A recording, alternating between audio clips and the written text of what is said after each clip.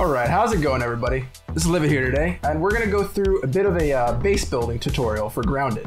Um, what I kind of want to go through here with you guys is how to really set up a, a good good starter base, I'd say, that can be expanded into something bigger over time. So, you know, something that's kind of modular that you can then keep expanding, and I think would be really good for most players. Um, the baseball is a fan favorite of most people from what we've seen so far in like comments and on Reddit and stuff like that. Uh, so I think this would definitely be a good place to start. I definitely have a lot other places in mind that we, we will go through later on with different builds, but for now we're gonna start with the baseball. And this is the kind of the way I like to tackle it. So just climb up this nice little access point that you have to start out. We'll eventually build stairs down here to make it a lot nicer and more fortified. But uh, the way to get up, you know, easily is a stick. Nothing can get you up here. It's a really good all-around base. So we're gonna start here with the scaffolding. Uh, and the trick here to really get a nice kind of level base out here is you want to place the scaffolding kind of on this seam of the of the baseball here. And you kind of want to get it as low as possible. Right here is pretty good if we go to about right here. So what this does, once you place that, you'll see you'll get a mostly flat surface when you place these pieces like this. And this makes this like really nice in terms of just, you know, really utilizing the space. And I like my builds to kind of hunker into the terrain so it kind of looks, you know, more sturdy instead of just hanging off. But this is a good place to start, right? So if we get with this one, we have a nice, you know, a two by three, more than enough ample space to build. It's a great starting point. We're just gonna go ahead right ahead and throw the grass planks right down on top. We have a nice big place to start with, right? So if we want to expand from here, you know, this you can do it whatever you want. You can change up things that are situated on top of here, but I think this is a good starting platform for anybody. I think can really get to you. So I tend to like to start off here when we're going to expand this is we build two of these off in front. We're to build the sides off like this. This likes to snap here. We'll build two more off the back. And we'll build three off the side here. And then from here, we're going to utilize the nice corner triangle pieces just to give our base a little less of a little less of an all-around blocky situation, right? Get some variation going here. So now we have this, which is nice. This is more than enough space to pretty much hold everything you need inside of a, a normal base, and then we're gonna make this thing multi-tiered going up. So this is probably where you wanna start if you're looking for, you know, your upgrades to your base. You're gonna slap these little triangle pieces on. Got those, and we'll put the regular grass plank floors here.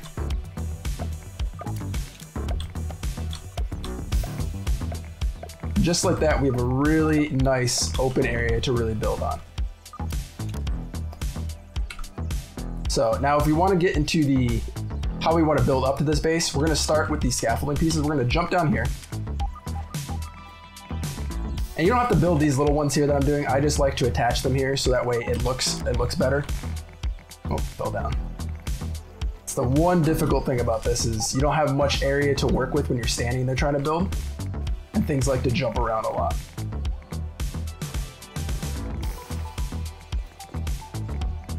So what we're gonna do is we're gonna snap to this, like this. Scaffold this down. We get something like this going.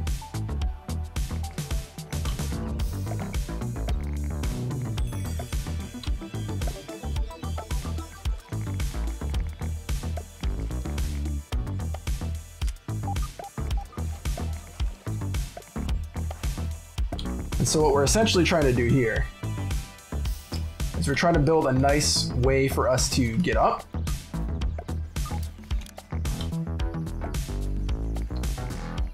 So like this, you see we have a nice double wide staircase. That way if there's ever anything bigger that you really need to bring up, you know, we're just kind of future proofing things for a later date.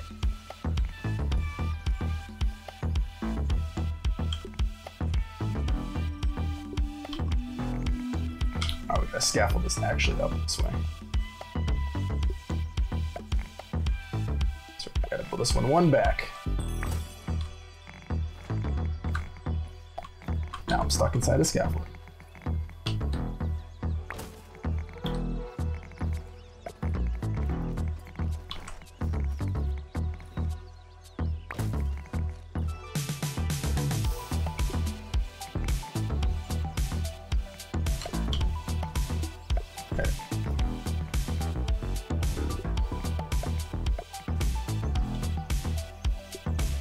This, and like this. So we don't really need this little side right here. This is just like extra flooring if you want to put storage on the outside, like for pallets, which is what I tend to like to do here. So we build something like this, right? And then you go over here and you get like little pallet pieces for storage. I tend to like to keep those outside because it's, it's no fun really climbing all the way inside your base to, to have to put these away. Kind of like just keep them outside for building, right? So like that right there, you have a nice little drop off point for all those parts that you're gonna use. We're gonna go back to here, put our finishing floor on there. And we can put more pallet storage up here, which is really nice if you want to do that.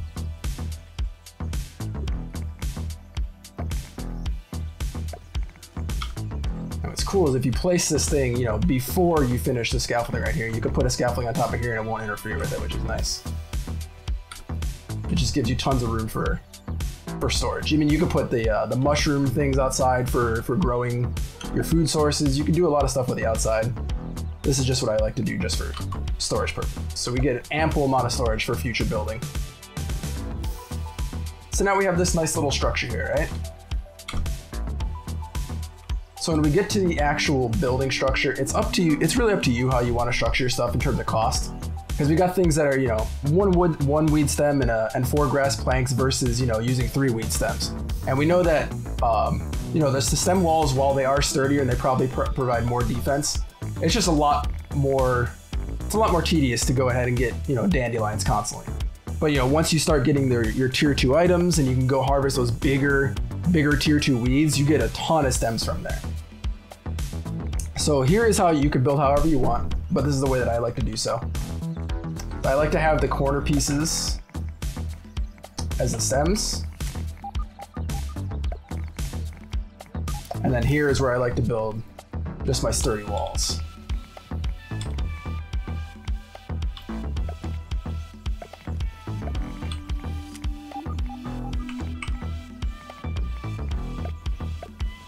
Put a nice little window out front.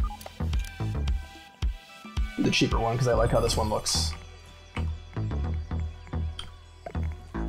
We'll put a sturdy door. Which is nice, right? So then for here, we could also do the, uh, the awesome technique that Kodiak recently showed you guys. Is we could build a massive amount of storage space right here, which is really cool. Floor pieces really quick. And as long as you have these things here, you don't necessarily need the ramps. You could just build straight across half at half height, which is kind of cool. And just like that, you have enough room here for a ton of storage space. You know, if you want to if you want to put them like this, you can. If you want to rotate them and put even more here, you can do it this way. So I tend to like them do it this way you'll see we could fit a ton of boxes here.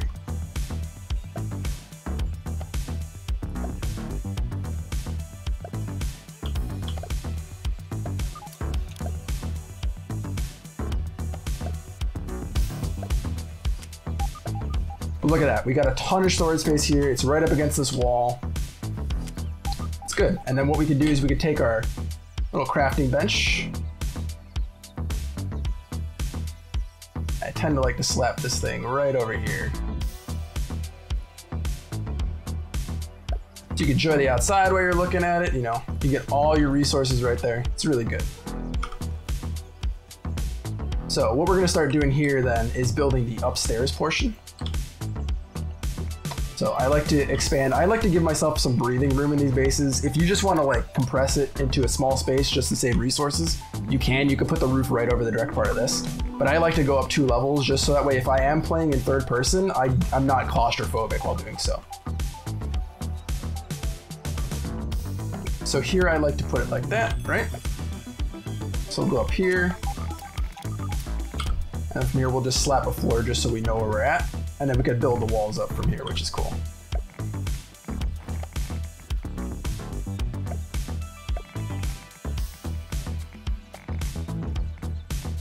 walls.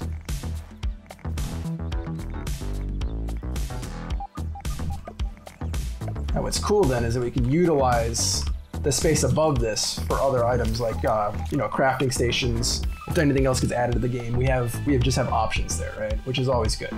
You definitely want a base that always has options for expandability. So we'll just put these pieces here.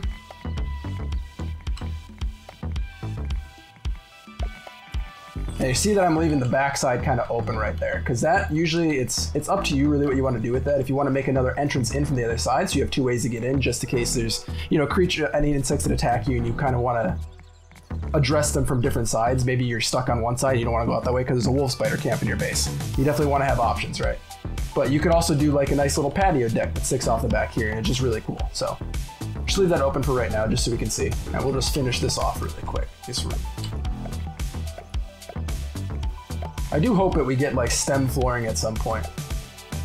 It'd be really nice.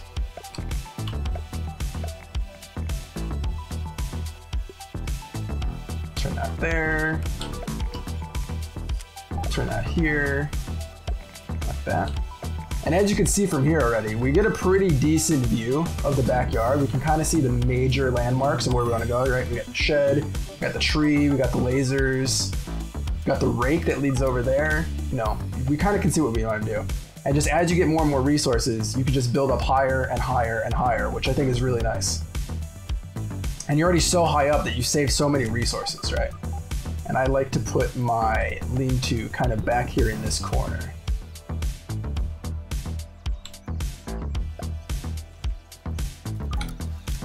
So you can see we can do a ton of different options here in terms of like what we place inside. I tend to like to put like a mushroom garden right here, right underneath here.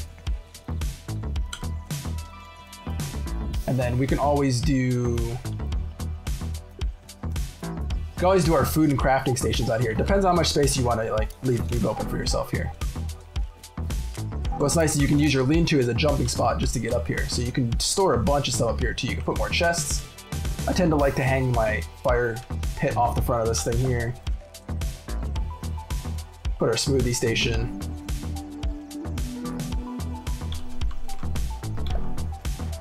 You know, and as you're right here, you can just access it from here, which is really nice. It's all compact, all on one side. If you're really building this base, you can honestly just build this one side and be fully functional for a good while of time.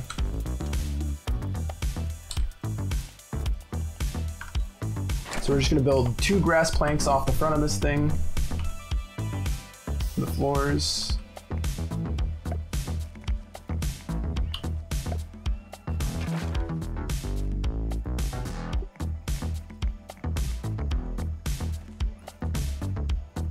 Stick it off this. I wish you could snap pieces here like this, but you can't, unfortunately. So if you want it, if you want to fit to a full grass blade here, you do have to just, you know, get rid of this and attach this way and then put your, even with the corner pieces, that doesn't tend to work. You have to actually destroy that corner piece and attach it if you want to really anchor here. That's why I tend to like to do the triangle pieces. It's unfortunate, but it's what you have to do.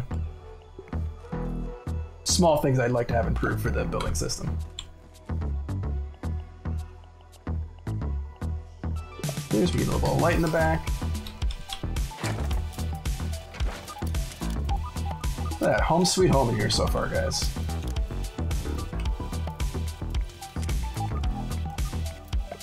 You can hang all your trophy mounts on the walls. You can do a lot of stuff in here still. Like you have a ton of space. You could fit, if you wanted to, man, you can fit the, uh, what's it called?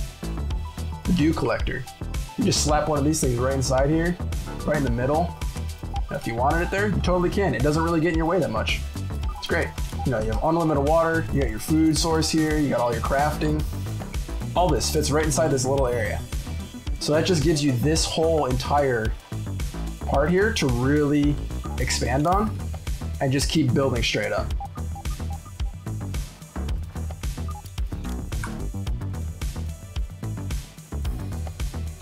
So from here, we'll do a little bit of a time lapse just showing me building this base up pretty high. And I think this is probably the direction that we want to, I'll show you what it looks like when we build this thing up pretty high.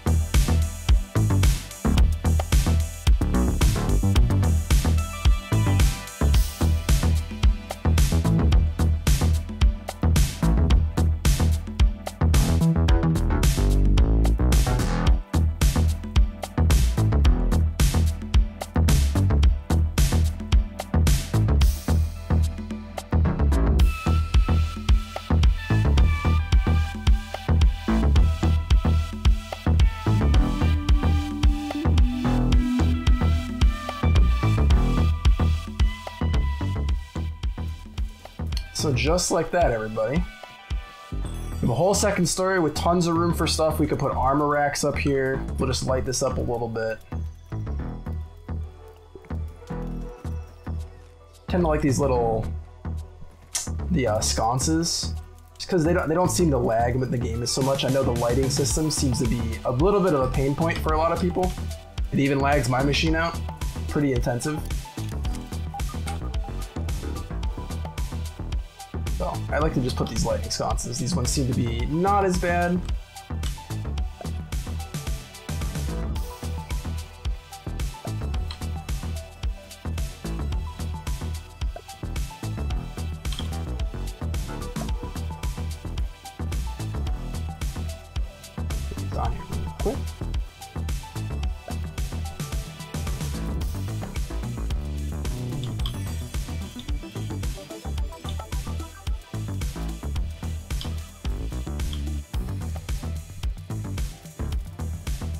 Just like that, look at that. We have a nice area that, you know, whenever we want to use a bow and arrow, uh, maybe some of the future ranged weapons that are coming to the game, just have, you know, a lot of options here to be able to defend out. You know, we can knock one of these out and make a balcony around the edge if we really want to. There's a lot of options, you know. It's up to you how you really want to customize it. But this is kind of where I like to go with this.